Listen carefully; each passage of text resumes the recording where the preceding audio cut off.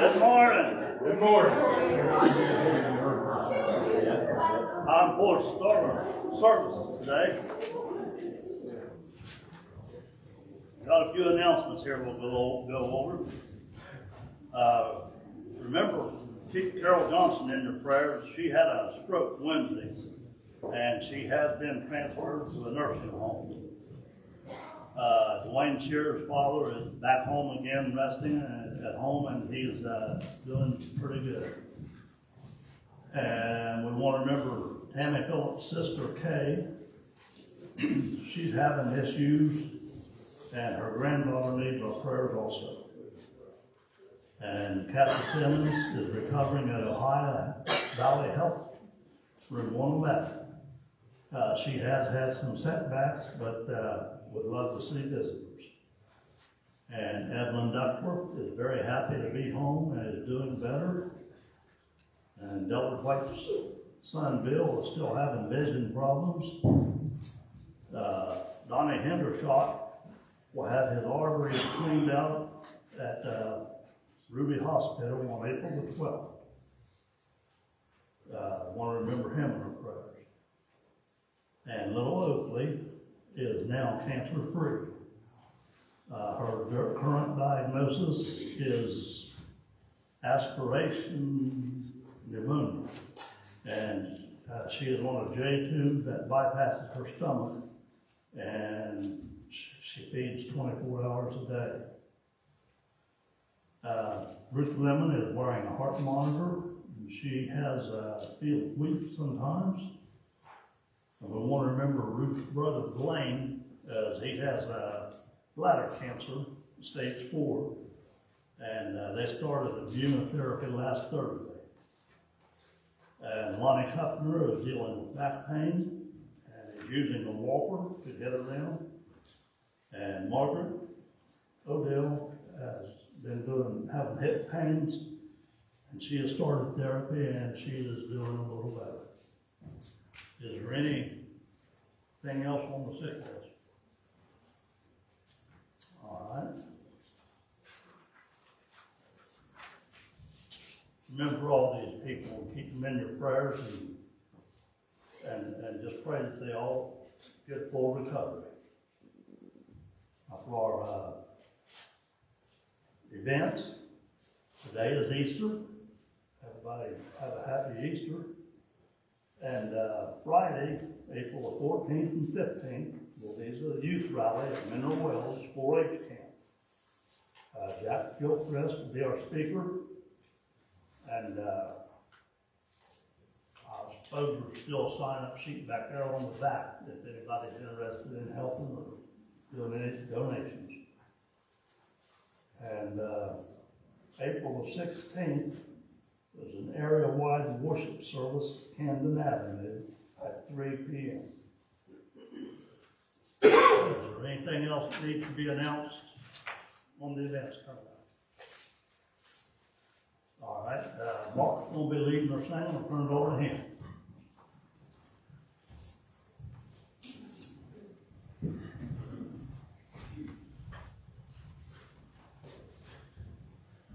First song this morning will be number 13. There is rest, sweet rest at the Master's feet. There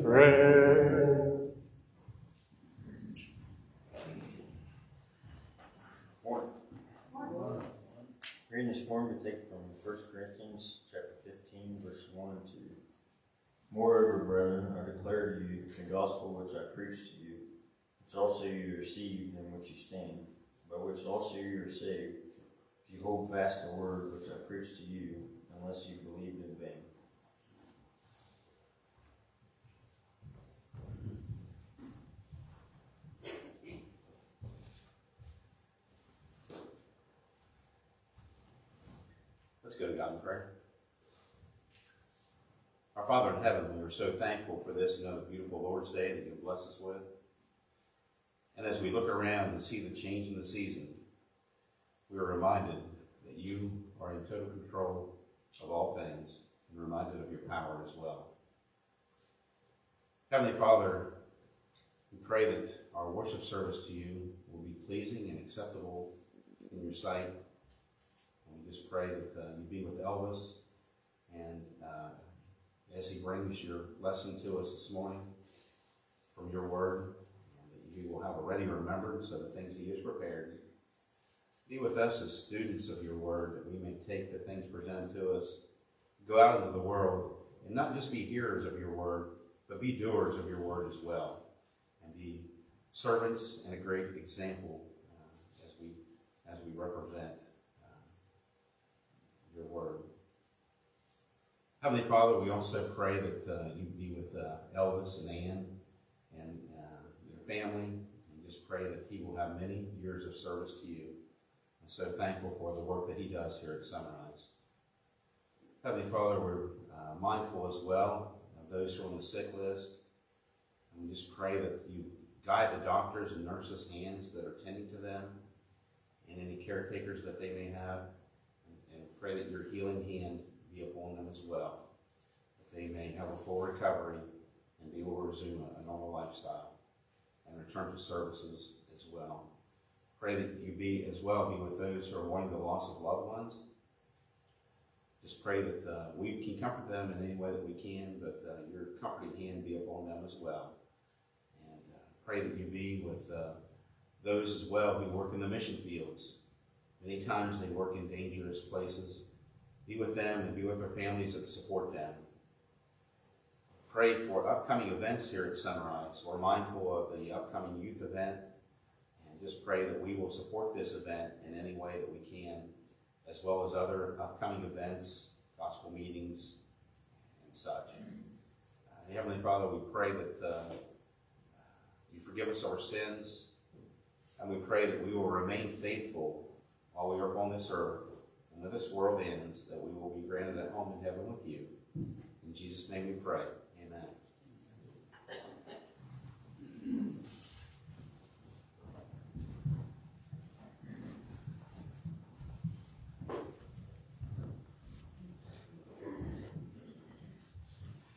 Next song will be 337. Oh, in the great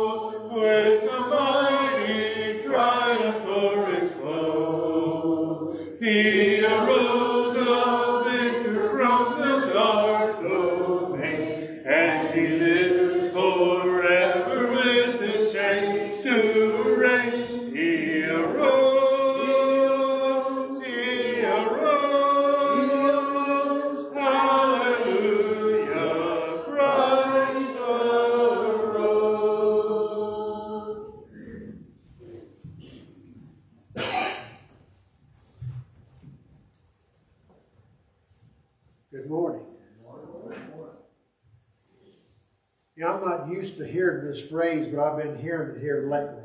Happy Resurrection Day. You know, and that's this is the day that Jesus arose from the grave. Um, you know, as humans, we need reminders. You know, many of us keep daily planners or or maybe a special calendar that you write appointments or special events that uh, uh, you want to uh, participate in, you know, so we don't forget those. God realizes our need for reminders and has down through the ages um, inaugurated many uh, memorial feasts. You know, the Passover, one of the probably the most uh, recognized of those, uh, celebrates how God, with a mighty hand, delivered the nation of Israel from the bondage of slavery, from a cruel and powerful taskmaster. You know, and for millennium, Jews have have kept that memorial feast, that Passover feast. Jesus, on the night he was betrayed, inaugurated this memorial feast the bread, unleavened bread, which represents his body that hung on that cross, and the fruit of the vine, is, which represents his blood that was shed, that takes away the sins of the world. One thing I find sad is that most of the religious world today only does this once a year. Some may do it a couple times a year, some maybe once a month, but we read in the New Testament that the first century Christians would do this every Lord's Day to remember the sacrifice that Jesus made. And if it had not been for that sacrifice, we would still be in our sins. If it had not been for that resurrection, we would have no hope of being resurrected ourselves on that last day. So at this time, let's give thanks for the bread. Father in heaven, we thank you so much for loving us, for calling us by name, Father, for choosing us, for loving us first. For every blessing of life that we receive from your hands, Father, we thank you for your word. Most of all, Father, we thank you for your Son and the sacrifice that he made that we might be reconciled to you. I ask, Father, that you bless us now as we partake of this bread that represents his body that hung on that cross in our stead. It's in Jesus' name we ask these things. Amen.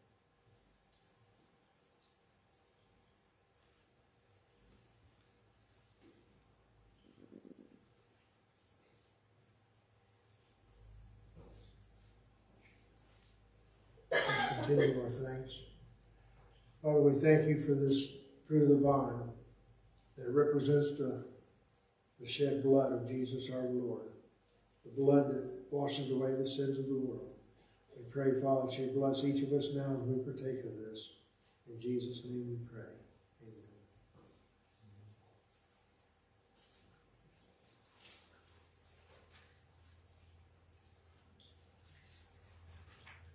Amen. That concludes this portion of the worship service. Now, as a manner of convenience, we've also been commanded to lay by and store on the first day of the week. And for your convenience, there's a basket on the table as you leave the, uh, the auditorium if you've not done that already.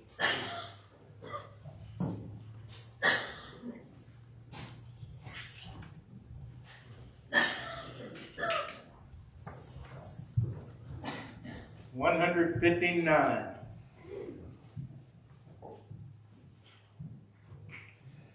I gave my life for thee,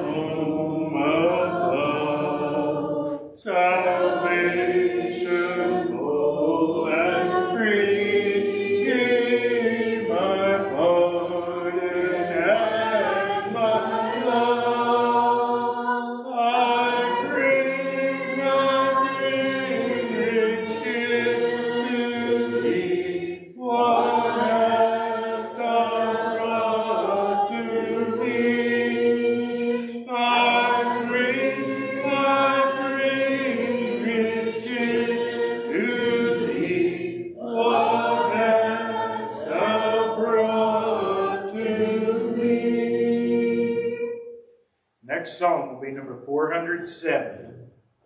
407. All those that can and want to, let's stand for this song.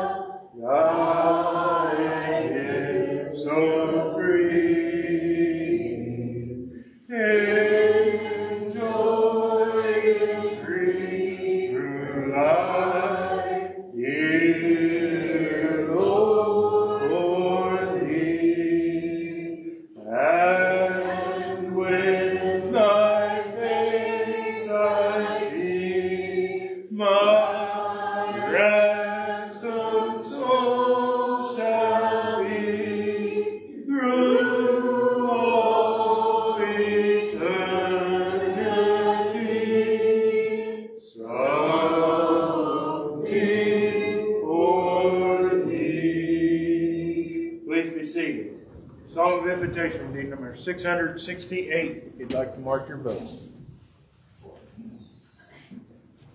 Good morning. It's good to see everyone. Certainly glad you're with us this morning. Happy Easter to everybody. I have to ask you a question this morning, and the question is, what does Easter mean to you? What does Easter mean to you? It might mean something different to, to just about everybody here. Um, I, I go back in memories when I was just a small child and, and kind of what Easter meant to our family. And, and the day before, we would start coloring eggs. And, and you know, part of coloring eggs is eating the eggs the next morning. And I, I enjoyed coloring them. You know, you get colors everywhere, it seemed like, and that was fun. But I never enjoyed eating them because my mom had a tendency to overboil them. And so once you got to the peeling part, it was hard to peel too because they had been they had been heated, they had been cute, cooled, they had been colored and everything else. And and, sit there for all night long, and then you went to eat them and everything. I don't even think she put them in the refrigerator after that point. But then you went to eat them the next day, and and, and I couldn't peel them, so I'd have to ask her to peel them many times, and then I'd get a crunchy egg sandwich the next day. And so that was always great. But, you know, it was, you know, we'd always, it was spring, kind of the introduction of spring. And so, you know, uh, you might have your Easter bonnet, your Easter hat, or, you know, your new dress or new suit or something like that. And, and now you can wear those colors that you couldn't wear before because there's some rule that you can't wear whites and yellows before Easter. Remember that rule? Um, I don't know if that rule still applies, but it, it was there back when I was a kid.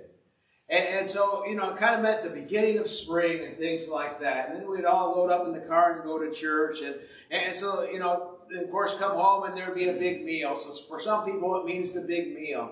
Others go right to the religious aspect. Now, I want you to understand that the word Easter is not a religious word. It is in the Bible one time in the Old Testament, long before Christ was raised, in one version, the King James Version, and it's not a good translation of what the word means. It means nothing close to resurrection or anything else. So that's a word that from the from the King James Version, man picked up, the religious world picked up, threw their own meaning behind it, and kind of ran with it. So, you know, when the world celebrates Easter as, as something to do with Christ, it, it, it really isn't something to do with Christ. So the sermon I'm going to preach today has a flair, and really I had started last week with, with Romans chapter 1 and verse 16, Christ is preached. It has a flair for, it could be an Easter sermon because I'm going to continue on that way and look at the death, the burial, and the resurrection. But I want you to know that this sermon could be preached any Sunday of the year. Because as Roy mentioned, we gather around the Lord's table. As the world many times looks at Easter as a special day, and, and like I said, you can look at the holiday the way you want to look at it, that's fine. But as religious, as members of the Lord's body, we look at gathering around the Lord's table every single Sunday. And, and we look at that death, that burial, and that resurrection every single Sunday. And that is important to us, and this is an important subject, and we really have to think about that and look at that. Now, the Apostle Paul maintained that after those redeemed in Christ died, that they would live in bodily form with the Lord in a heavenly kingdom.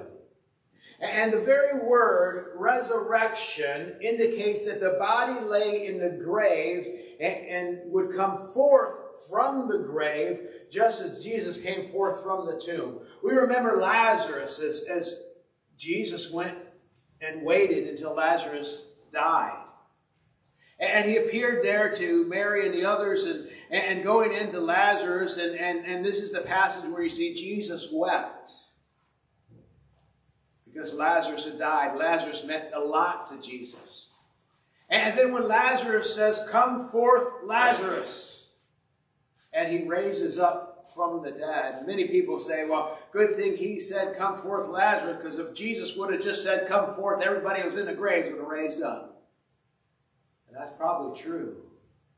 The power of Jesus. But that's our, we hang our hat on that. That's the Christian faith, isn't it? That's the Christian hope. Because if life was just from point A to, to point B, and B, point B being death, and there was nothing after death, then, then we probably wouldn't be here today. There's, there's many other things that you could do this morning. But we know that Jesus did die, Jesus was buried, and Jesus did raise, and because he was raised from the dead, we can raise to walk in newness of life. We, we, we can go to that grave when it's our day and our time, and, and when the second coming of Christ comes, we will be raised up to have eternal life with him. 1 Corinthians 15 20 says, But in fact, Christ has been raised from the dead and the first fruits of those who have fallen asleep. He, you know, he's been raised from the dead, and, and he's the first fruits. And when he appears the second time, the dead will be in Christ will be raised, and, and eternal life will come from that. And the revelation is that there is no salvation without the bodily resurrection of Jesus Christ. There is no salvation without the bodily resurrection of Jesus Christ. So we're going to look at 1 Corinthians chapter 15, verses 1 through 4 this morning as we look at our lesson. First, we want to kind of continue where we left off last week and, and, and talk about Christ being preached. That's important, isn't it? I can tell you all about things about religion, but if I don't talk, tell you about Christ, I haven't done my job, have I? Because Christ is the most important thing. Because he lived on this earth. He walked on this earth some 33 years. He was an example for us. He was sinless. He went to that cross and died for us. He was buried in that tomb and he rose again for us. First Corinthians chapter 15, verses 1 and 2. Paul says, I would remind you. Now, I want you to, to think about that phrase for a second. Have you ever sat there and, and maybe thought about, oh, I remember that time when? You know, I remember that time when, and, and things come to mind when I had my 72 Mach 1 Mustang. Best 500 bucks I ever spent. You know. Now, I got in trouble a little bit with that car because it went fast, but I still liked it. You know, or I remember back when we actually got a newspaper delivered to your house. You know, I, I, remember back, we went to, not so long ago, we went to Detroit, went to Greenfield Village, and as part of Greenfield Village, you can ride in a Model A car. Now, they don't let you drive it. They have professional drivers, but they have about 30 of them or so, and, and they'll, they'll get, you get in and you drive around, or they'll drive you around, and, and it's a Model A, there's several of them, many of them. I remember that time when, I don't remember it, I wasn't born when the Model A came out. I remember some older cars, though. I, I remember, you know, if, if I named the best vehicles I ever had, they were Ford Mustang, Ford F-150, and Ford Ranger. Might see a theme there, I don't know. Anyway, the GM guys are going, are, are pushing in their seats. But, you know, remember, Paul says, I want you to remember. He's talking to a group of Christians here that's eh, not much different than we're looking at this morning. I want you to remember. Remember Jesus. remember the, the gospel that I preached to you. You received it, you stood in it. Your faith was strong in it. I want you to remember now. Now let's talk about the gospel. You're saved in the gospel. Now, if you hold fast to it, I preach, unless you believed in vain. It, you know, you might say, well, there's someone, you know, they became a Christian, but their, their faith wasn't very strong, and they didn't stand there very long, and, and pretty soon they're back out into the world. You know, Paul might say, well, this is maybe that little category there. He says, but I want you to remember, we need to come back to the time when Christ was there. We need to come back and look at the situation and remember about the gospel being preached and the fundamentals of the gospel that Paul preached and his companions had preached were, were teachings that God had raised Jesus from the dead to reign at God's right hand and that Jesus will someday come again. We wait for his coming again. Now, we know two things that are going to happen in our lifetime. One, we're either going to die and most of us probably think that's what's going to happen. Or two, before we die, Christ is going to come again. So one of those two things, and, and, because we've known that years and years and years and years have gone by and the same thing has happened, we probably think, well, that would happen to us too. Years and years will go by and we'll be dead and we'll be buried and maybe, you know, 2,000 years from now or 3,000 or 4,000, we don't know when it will happen, but then someday Christ will come again. Now, I will tell you this. It seems like the Bible teaches that when we die, until Christ come again, it's that time will go quickly for us. Because we'll be in a place, if we're Christians, we'll be in paradise. See, they had been saved because they had taken their stand in the faith of Jesus Christ as the Son of God. 2 Corinthians chapter 5 and verse 10 says, For we must appear before the judgment seat of Christ, so that each one may receive what's due for what he has done in the body, whether good or evil. And, to the question of the resurrection of, uh, of the dead, Paul insisted that, that we cannot compromise uh, on, on the Christian faith. and those who denied the resurrection of the dead. There, there were those even in that day that would, you know, I would have a little bit of struggle with this. If you were at the base of the cross and you see Jesus up there and you see him dying and them torturing him, you know, no matter what your belief was at that time, if you see that scene, if you saw the cross and hundreds of people dead, and maybe you even see Jesus carrying his cross at some point. Or maybe you even see them putting the crown of thorns on him. Or maybe you saw them beating him. Or maybe you saw part of the trials that were going on. Maybe you saw any of this, this point of action. And, you know that he died, and you've seen him die, and people said, Yes, that man died. And, then he was buried, and many people saw him that he was buried. And, then that tomb was empty, and that he rose again. And there you go, you see him walking on the face of the earth, and as many as 500 saw him at once. And, try to come up with 500 witnesses that tell the same story. For 40 days, he walks on the face of the earth. Then in Acts chapter 1, he ascends into heaven. Why standing gazing the same Jesus? As you see, he goes up into heaven, will come again in like manner. How can you see that and not say, Yes, I understand about the gospel of Christ? I, understand. And, Paul said, I want you to, I, want to remind you about that. I want to take your minds back there. Romans chapter 1 and verse 4 and was declared to be the Son of God in power according to the scripture, or according to the Spirit of holiness by his resurrection from the dead. Christ, Jesus Christ our Lord. So, so for humankind, Jesus is the doorway to reconciliation with God. And because the tomb of Christ was empty, the action of bodily resurrection had already begun. Jesus didn't raise himself, God raised Jesus from the dead. Unless they had held fast to their confession. It's, it's important to hold to your faith. And I know we live in a world where, where, where, one Sunday we might come to church and we might get excited and our faith might get pumped up and we're ready to go out there in the world. And, and by the time the week's up, we're like, oh,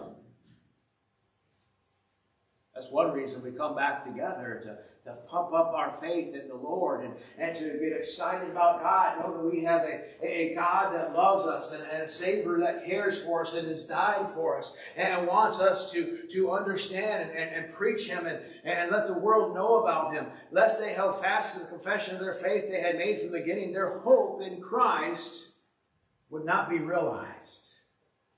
Romans chapter 6 and verse 4, they were buried, Paul reminds them. Therefore, with him and by baptism into death. In order that just as Christ was raised from the dead by the glory of the Father, we too might walk in newness of life. Now, when, when we go into the baptistry, this is similar to what Christ did. When we go into the baptistry, we are, die to our old self. We're buried with Christ in baptism, and we come up risen with Christ to live a new life. And we begin that new life. And so we have similarities there. But secondly, this morning, Christ died for our sins according to the Scripture. Now, it's interesting. Paul just didn't say, well, these things happen, these things happen, these things happen. But when he says it, he says, according to the Scripture, this is where you get your Bible. Now, now if we were to take and take the New Testament and close the New Testament off and set it over here, we could still take the Old Testament and teach Jesus, Christ, death, burial, and resurrection. A lot of it from the book of Isaiah. You look at Isaiah 53 and, and Isaiah 61 and others, and we can teach that same thing from the book. For a matter of fact, we can look at Philip and the Ethiopian eunuch, and said he was going down the road. He was reading from the scroll of the prophet Isaiah. He came to Isaiah 53, verses 7 and 8. He was led as a sheep to the slaughter, as a lamb before his shearers was silent. Who's this talking about? He asked Philip. And he began at that passage and taught him Jesus. He, he died for our sins according to the scripture. Why did my Savior die because of me? Because I have sin in my life. Why did my Savior die because of you? Because we have sin in our life. For I delivered you, first of all, of first importance, what I also received, that Christ died for our sins according to the scripture. He died for our sins. He, he didn't die because of something he did. He, he didn't have to come to this earth because of himself. He didn't have to come to this earth because any other reason but because of our sins that had the price had to be paid for us. Have you ever got to the cash register maybe not had enough money for your purchase? I know many of us have bank cards or credit cards or something that if we didn't have enough cash, we could take out that card and hopefully scan that card or something and we'd get our purchase, we'd go on our way. But I've seen plenty of times, and, and I like to get behind people who don't have enough money. You might say, why? Say, because if the bill's not much, I'm going to pay it. Now, it's hundreds of dollars, I'm, I'm going to say, well, I, I can't do that. But if you're $10 short, I'm going to help you. You're $20 short, I, I might help you. Especially if it's like a mother and her children or something like that. I'm going to help you. Jesus is going to help you because we cannot pay our price. We need Him behind us to pay our price for us. We, we can't pay the cost. And He had to come and pay our cost for us. He had to die for us. Galatians chapter 1 and verses 11 and 12. For I would have you know, brothers, that the gospel which I preach you by me is, is not man's gospel. It's, it's not from, from man, he says. For I did not receive it from, from any man, nor I was like taught it, but I received it through a revelation of Jesus Christ. So Paul had heard and accepted the testimony uh, of the, revel, of the resurrection Christ had from the apostles and other believers who had gone before him. And he was aware that, that to deviate from this message had been, you know, been preached before and his conversion would call his reputation to question. You know, Paul would go out on these trips trying to arrest and kill Christians. And many times people would deviate from the message of the cross and, and put themselves in that place and, and teach a different message. And Paul says, I, I can't deviate from that. And when Paul wrote that his message was according to the scriptures, his first readers were to understand that it meant the Old Testament scriptures, by the way. In other words, all this stuff was prophesied would happen. If I could tell you what you're going to have for lunch next Tuesday, would you believe me? Now, some of you are very, I have the same thing for lunch every single Tuesday. I know a person that does that. Same thing for lunch. Maybe maybe same thing for lunch every day. I don't do that. Whatever's in the refrigerator, whatever's leftovers or whatever, you know, that's usually what I have. It might be something different every day. But if I could tell you you would say, wow, that guy's got something. He, he, how did he know what I'm going to have for lunch next Tuesday? I can't do that unless I know your pattern of life. I remember Wes, Wes and Helen. Helen would tell me that Wes has the same thing for lunch every day. I can tell you what it was, but you don't want to know. Like you know, same thing every day. We have Old Testament scriptures years and years and years before that said this is what will happen. Or matter of fact, Isaiah 53, verses 3 through 6. Or we'll look at Acts chapter 22, verse 22 through 24 first. Men of Israel, hear these words. This Jesus of Nazareth, a man attested to you by God with mighty works and wonders and signs that God did through him in your midst. As you yourself know, this Jesus delivered according to a defined plan and foreknowledge of God, you crucified him and killed him by the hands of lawless men. God raised him up, loosed the pains of death, because it was not possible for him to be held. In other words, this Jesus, God knew what was going to happen. He wrote about it. Isaiah 53, verses 3 through 6, the prophet Isaiah said, He was despised. He was rejected by men. Who was that? Jesus. He was a man of sorrows, acquainted with grief, as one of whom men hid their faces, and, and was despised and esteemed him not. You know, sometimes when Jesus would walk in the room, people couldn't look him in the eye. You ever have somebody like that that you just couldn't look in the eye? And it's because they had they were ashamed. But remember the woman at the Samaritan well, or the Samaritan woman at, at Jacob's well? She, she wanted to go there at an odd time of the day because she didn't want to be seen by others, because she thought others would, would give her a hard time and, and basically make fun of her because she had been married so many times. She had so many failed marriages, and she was ashamed of that fact. She just, she just could was a bad picker, couldn't get along with it. I don't know. But she had issues and she was ashamed of that fact. So she went there in, in, the heat of the day. And normally you'd come in the morning in the cool of the day, get your water out the well, because you didn't want to sweat while you were getting your water. But she would come and guess who she ran into? Jesus. At the well. He was despised. He was rejected. Surely he is bore our griefs. He bore my griefs. He bore your griefs. He carried our sorrows, yet we esteemed him not, stricken, smitten by God, afflicted. But he was pierced for our transgressions. He, he was crushed for our iniquities. Upon him was the chastisement that brought us peace.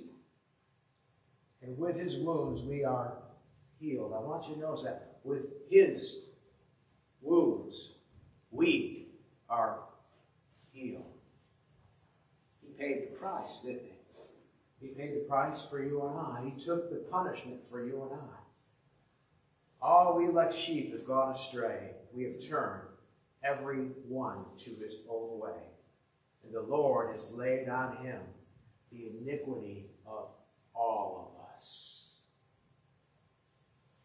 You know, we take the burden and the pressure of sin in our life, and, and it can drag us down, can't it? It, can, it can do all kinds of things to us.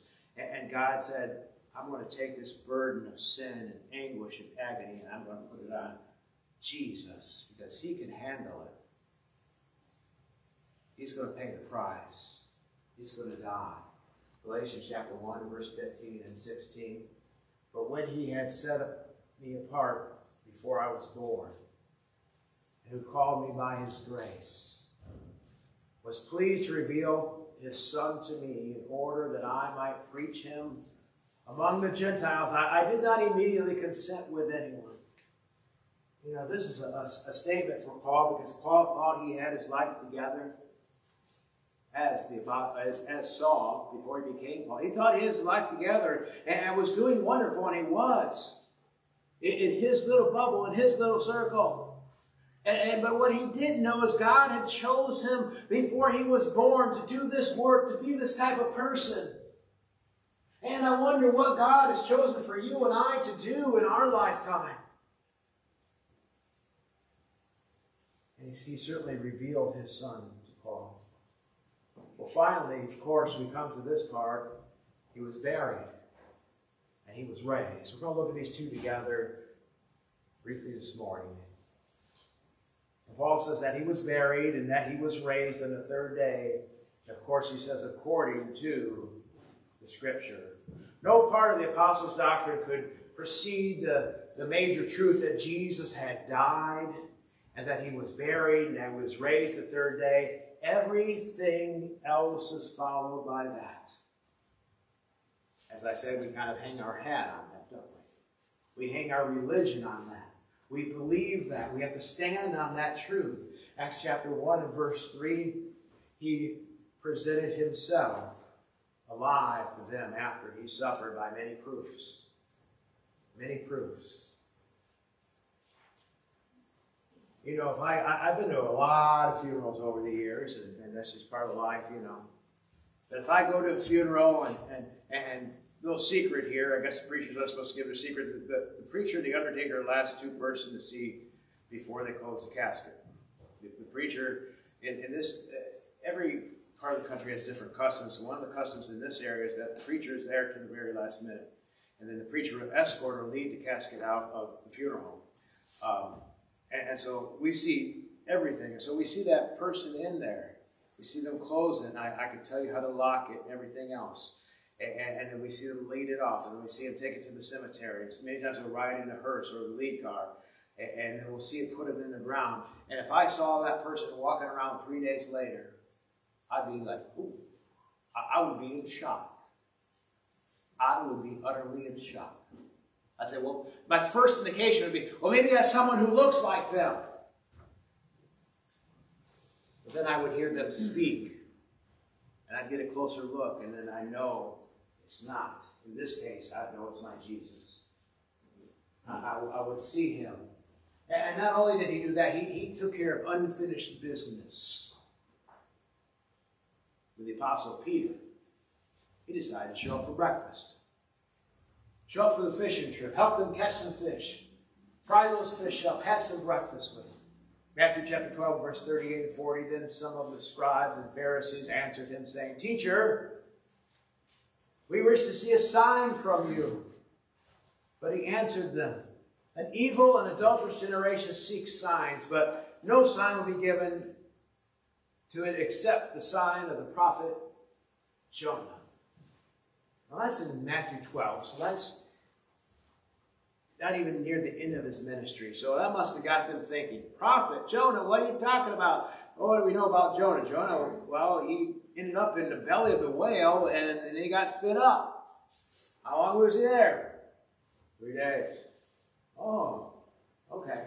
Now, I'm sure when, when this resurrection happened, they were thinking, oh, now we can put two and two together and understand that.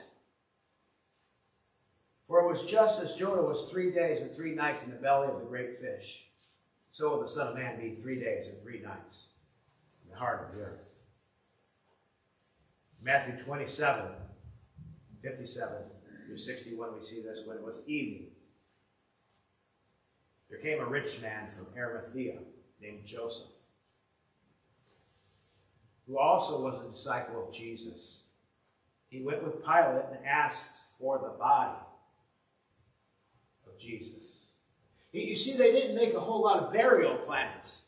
They had to plan to kill him, to hang him on the cross, but, but, but many times they would just shove the body over in a stack in a pile of bodies. Well, if you had a loved one there, you didn't want that to happen, so you would make plans to take him and, and bury him somewhere, wouldn't you? And, and so Joseph of Arimathea, he, he, didn't know Jesus that well, but, but he was, you know, I'll, I'll take the body. And you have to go to Pilate and, and, and ask for that. And Joseph took the body. He wrapped it in a clean linen shroud. He, laid it in his own, his own new tomb. He had bought for himself, which he cut in a rock. And he rolled a great stone to the entrance of the tomb, and, and he went away. And Mary Magdalene, Mary, and the other Mary were there sitting opposite of the tomb. So he, he takes Jesus and he puts him in the tomb in his tomb that he bought for himself, and, and he rolls the great stone to close the door. He, he put special linens and burial robes on Jesus. And I want to close with Mark 16, verses 1 through 11 this morning, when the Sabbath was passed. Sabbath was Saturday. Mary Magdalene, Mary the mother of James, and Salome brought spices so that they might go and anoint him. See, see, this happened, this burial happened so fast that, that, that, they really didn't have time to prepare and even prepare the body. So they had to wait till over the, the, Sabbath had passed because they weren't allowed to do any of these things on the Sabbath. So Sunday morning they come and they're, they're, they're going to roll the stone back, have the stone roll back. These ladies couldn't do it by themselves. They're going to have it rolled back and they're going to go in and they're going to finish preparing the body for burial. And as they arrive, they notice some things. They start to say to one another, Who will roll away the stone for us from the entrance of the tomb? They didn't know how to get the thing open. And looking up, they saw that a stone had been rolled back it was very large. You can imagine uh, approaching the stone and thinking, okay, I don't know how we're going to get this stone. Maybe there's going to be a gardener. Maybe there's going to be a couple guys walking by. Maybe something's going to happen. And they go and the stone, the doors, the stones rolled back already. And they began at this point to be surprised, if you will.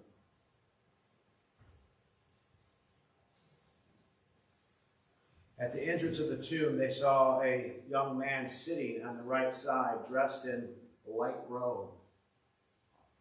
And they began to be alarmed. The man said to them, Don't be alarmed. You seek Jesus of Nazareth who was crucified? He has risen. He's not here. See the place where they laid him. Go and tell his disciples and Peter that he has gone before to, to Galilee. and there you will see him, just as he told you. And they went out and fled from the tomb, from trembling and astonished, and they seized them, and they, they said nothing to anyone, for they were afraid. Now when he rose early in the first day of the week, he appeared to Mary and Mary Magdalene, from whom he had cast out seven demons.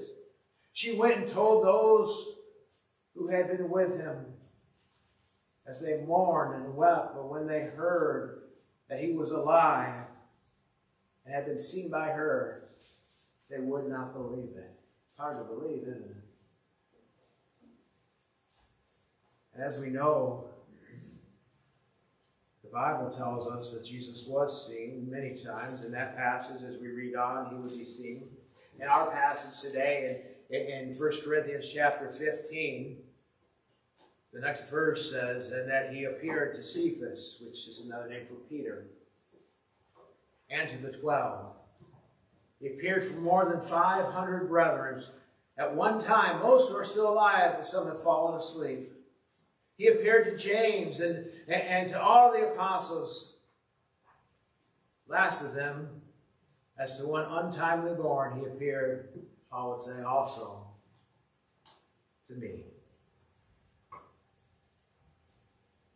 We believe that Jesus is the Son of God, that he came to this earth, that he lived on this earth sinless to be an example, to be the Lamb of God, the sacrifice for us, to pay our price for us, that we can have eternity with him. That because of his resurrection, someday we'll be raised again to walk in newness of life, to, to live in heaven with Jesus and with God. This morning, if you need to respond to the Lord's invitation, we encourage you as we stand and as we sing. Unto Jesus, He will save you, though your sins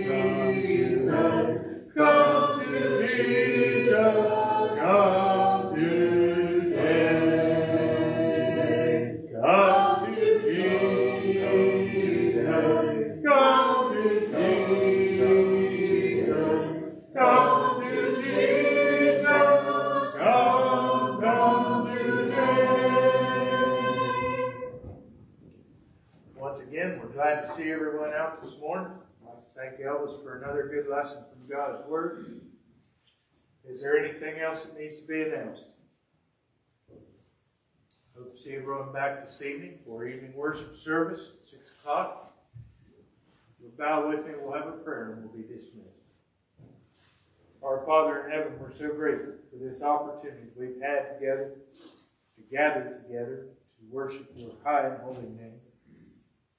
We pray, Father, that the things said and done here this morning were pleasing in your sight. We pray, Father, that as we leave here, that you will be with each of us, give us safe passage to our destinations, and that you'll bring us all back together at the next appointed time. And it's through Jesus' name that we pray. 我们这是四个人。